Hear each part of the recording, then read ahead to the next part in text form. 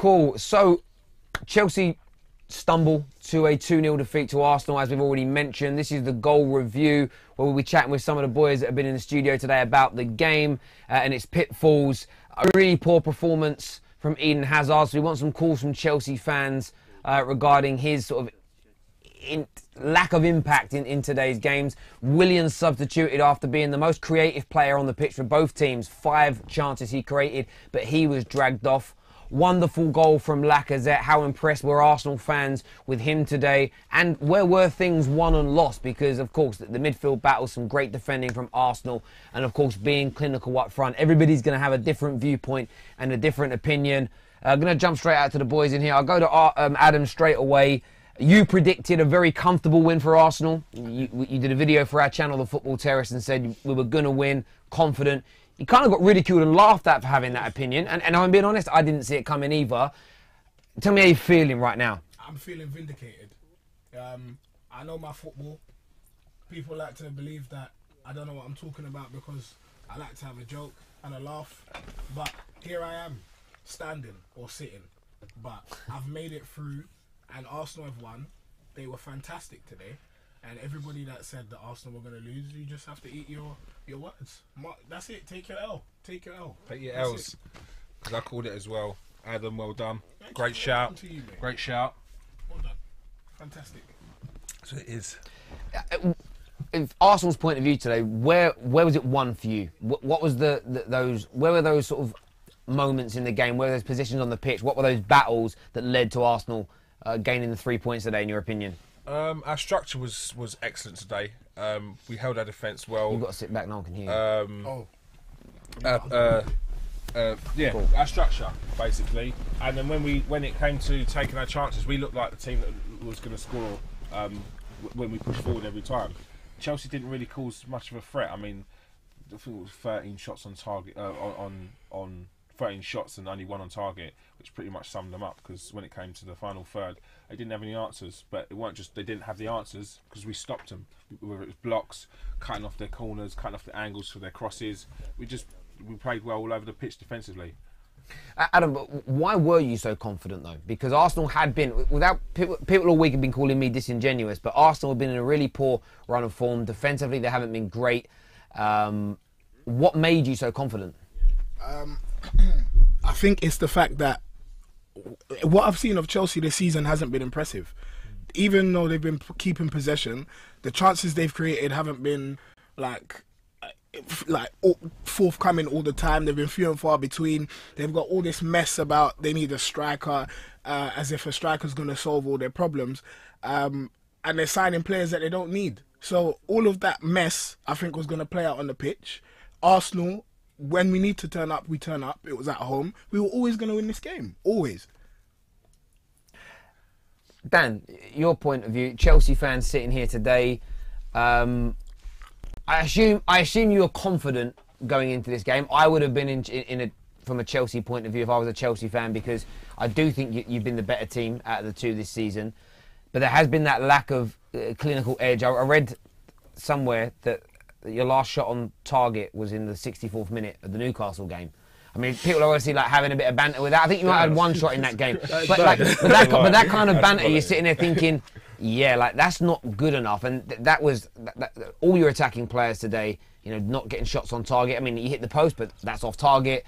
You know, your self-proclaimed best player in the league doesn't show up. Why can't Chelsea, for all the possession and for all the creativity, why can't you finish teams off? Mm, um, first of all, thanks for actually having me out here. I really appreciate it. Um, it's actually fun doing this, other than seeing my team lose to Arsenal, which is, I think there's one team I wouldn't want to see my team lose to. It's Tottenham, then it's Arsenal. So enjoy the W, guys. Honestly, but um, as to for the actual result itself, and I was confident going into the game. I was always wary of Arsenal because again at home they're always a very dangerous team. We've seen that even in the games where maybe they wasn't in their best of form against Liverpool, they turned up for 90 minutes, gave them a very tough game. Spurs they played them off the park for 90 minutes. Even when they went a goal behind, they didn't let the setback deter them.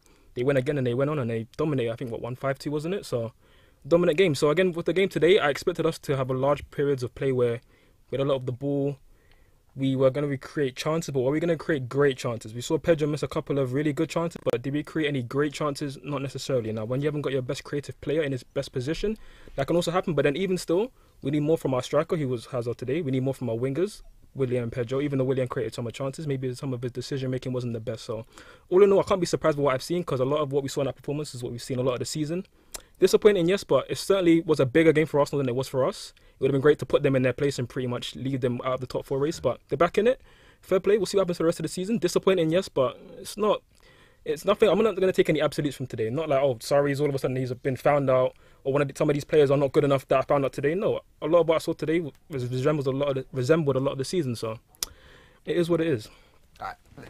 Before we jump into some of the, the, the lesser performances, Lacazette's goal, Dan. I mean, a worldie, wasn't it? Great feat. uh, yeah, I mean, finish. that finish. It's the difference between the two teams, really. You, you had Arsenal, you know, took the opportunities. Arsenal got some genuine strikers on, about Aubameyang and Lacazette. These are boys that will take their chances when given an opportunity. Um, Chelsea, it- it's just. I've watched their last three games. It's just they're carbon copies of one another. They get up to the final third and just can't do nothing. Can't create a chance. Too slow in possession. Yeah, they don't play with enough pace either. No, it's So slow, they're it's they're not, pedestrian. they're not hitting any teams with any, any pace on the break. So by the time they get up to the final third, the teams are set up again and they, they've got their structure again. Arsenal, had that, you know, they, they had like at times nine, ten men behind the ball, set up really well organised, and just stifled Chelsea completely out of it. It was easy. I know the Gooners in the room, Adam and, and yourself, you know, um, were nervous, but me sitting there, I know this game was done at half time. There weren't a part of me that thought Chelsea were going to come back into it. I ch- ch- checked the odds; they were 14 to one. I thought that ain't worth, worth a fiver of my money. Back in Chelsea at that point, I didn't see it. Yeah, like, I've coined the phrase for, for other teams in the past, but Chelsea at the moment, with the way they're playing, I said it during the live stream, uh, friend zone football. They do a lot of the, the hard work, they do a lot of the grafting, they move the ball around well. It's quite aesthetically pleasing on the eye what they're doing. But when it comes to scoring, when it comes to penetrating the team, they're like the, the, the opponents get it. Do you know what I mean? It's like they do all the hard work.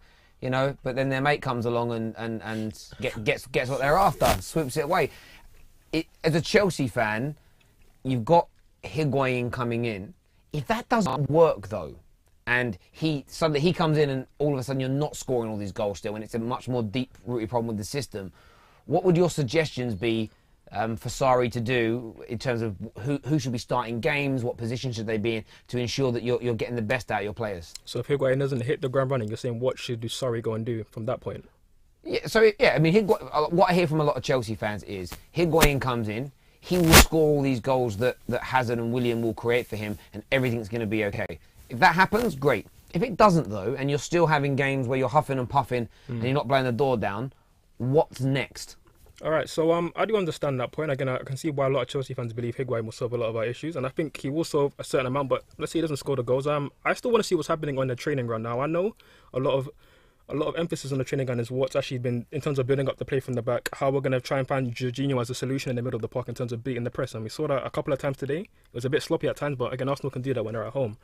Um, I feel like we need to work a lot on the training in terms of what we're going to do in our chance creation. When we have the when we have a team on the edge of the box like Arsenal who were just happy to sort of sit back with 9-10 behind the ball, how are we going to create chances then? And whether we have a striker or not, I don't think a striker maybe would have changed that much today. But at the same time, we see Lacazette, Aubameyang, or so Lacazette today with his feet in that for his feet for the goal. I mean, Hazard's got great feet, but he's not got that striker's sort of niche in, his, in the back of his mind where he's thinking, you know what, before I even get the ball, I'm going to do this. And like I said, before he got the ball, he's like, you know what, I'm going to just get the ball, use my great feet, and then find the angle, put it top, know, top corner. So, again, we do lack that. And sometimes maybe the manager can't always fix everything in terms of maybe how he's going to um, how he's going to create his tactics for the team. Because even still, our players on the pitch sometimes just are not good enough. And in a case like today, we just weren't good enough in certain areas. And again, maybe you want to blame some of that on the manager. I think you can do, but also some of the players got to take a lot of uh, responsibility for today because it wasn't good enough. I think that might be the problem where it's like you say, um, if Higuain doesn't work with uh, with Hazard and Willian, it's that that's the problem with Chelsea. f- From where I see it, Yeah. where's where's the other option? What's if Williams and Hazard aren't working? That happens. People, players dropping from. Where's the other option? What's your who's your other wingers to come in? And that's the you've got no other wingers. You've got nothing exciting Hudson on the wing. but- Yeah, but you're not you're not going to play him. Like, Exactly. forget him. He's off. See you later. ta-da! Like he's gone. Mm. His head's turned, man. And you can saw the way he's walking around. I, I don't like to do this. Oh yeah, pick point and you pick them, see, see what they look like at the end of a game, and you think they're off. But he doesn't look like he wanted to be there when he came, when he came on because it was just like you brought me on for 20 minutes. We're two 0 down. What am I meant to do here? I would have liked to have seen him for 20 rest- minutes. He only got 10 of- minutes. The rest of the team's not clicking as well, and it's just like, what's the point? You look, uh, Bayern Munich want me 35 mil. If they're going to pay 35 mil for me at 18, I'm going to get a chance. He's gone. What you got to do is you got to try and bring in another winger, man, because there's there's no there's no there's nothing exciting happening on on uh, on your wings. You're not hitting anyone with any pace.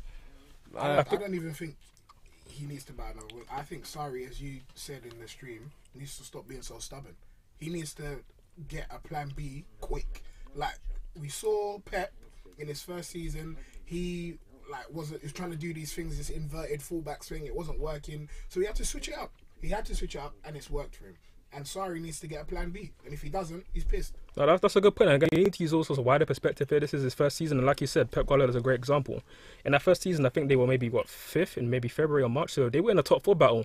They eventually got it out, but know, Pep, uh, Pep, just to end on this, Pep obviously, as you saw in the transfer window, he did thought, you know, I need a, I need new fullbacks, 150 million invested, and look what they did. They had a record breaking record breaking season and won the league. So again, Sarri, needs time to obviously get his players into the system because clearly we haven't got the players to fulfill that in the fullback areas, maybe even in the midfield in terms of an attacking midfielder who can get us goals, create chances, do the things that we need. A, a club like Chelsea needs to supplement hmm. players like Hazard up front because if left to today, just the wingers that we have, and obviously Hazard playing as a striker, those guys weren't doing enough to create chances themselves. Now they need support from the midfield and the fullbacks, and they weren't getting that today. You, you'd be better off Mm. sticking with where you were at the early part of the season, either playing Morata or Giroud, Giroud I- up front, I- I because 100% agree- because agree, you were gaining 100%. more points and playing better football. I know you they're they're not the ultimate end goal of challenging for the league, but you've gone backwards by taking both of them out of the game. Mm. It You know, doesn't you make sense to have that vocal. No, because when you're only putting play you're one now in a worse position. Hazard. He's obviously lost faith in them and know they're not good enough,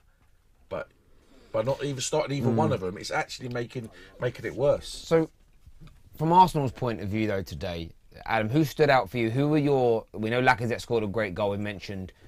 Who are the boys who really won at you today? Who are the standout performers that impressed you the most? The defenders, the, the two centre backs. Yeah, and and and and and uh, I, I love the the work rate from you said it earlier. The work rate from the strikers. I mean, uh, Bamiyang twice in the first half, two great challenges. One in the penalty area, which they they showed he actually got his foot to the ball, and the other one where he hooked it hooked it round.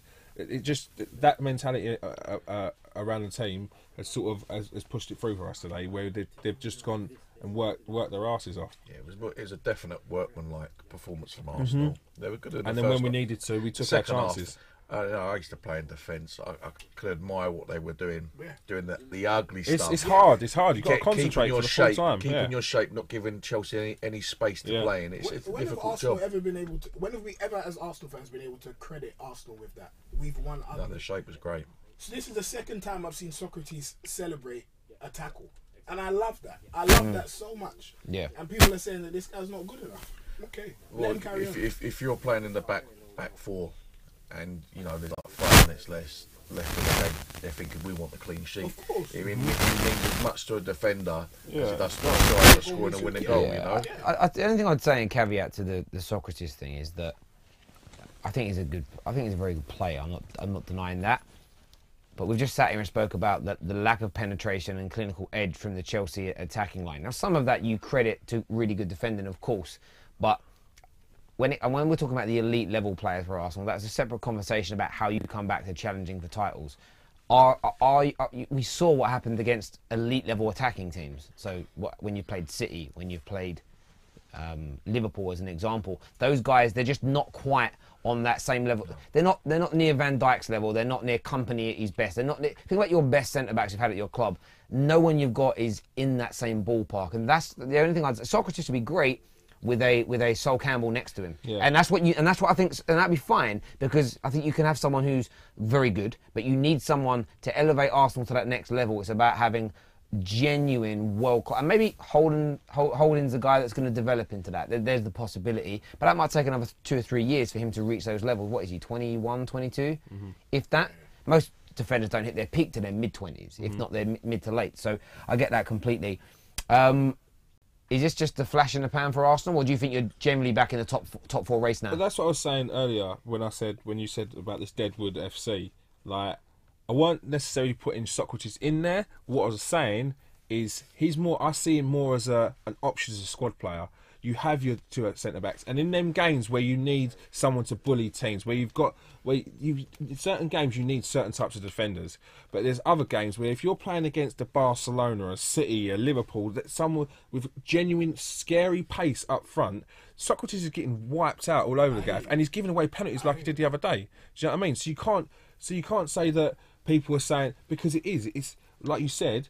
Once you get to that level, your defender needs to have everything. It needs to be quick. He needs to be smart. He needs to be strong on the tackle. It can't just be he's a bully and he's aggressive. He needs to have everything mm. because he's not that good at being a bully and aggressive to be the best in the world at it. He's not there. Cool. He's just that step below. Thank you very much, cheers, boys. Thank you very.